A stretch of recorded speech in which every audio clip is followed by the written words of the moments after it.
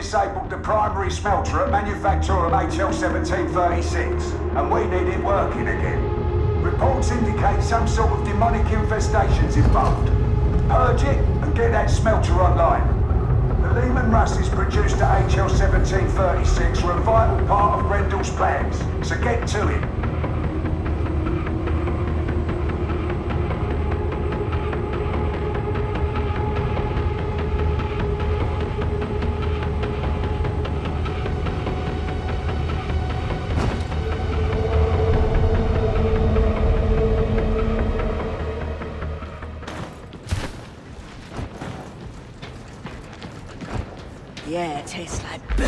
blood. Unusual. Air contamination is within acceptable parameters. It will improve further in. People die making weapons here. Alternative is to die in a war zone. The big boss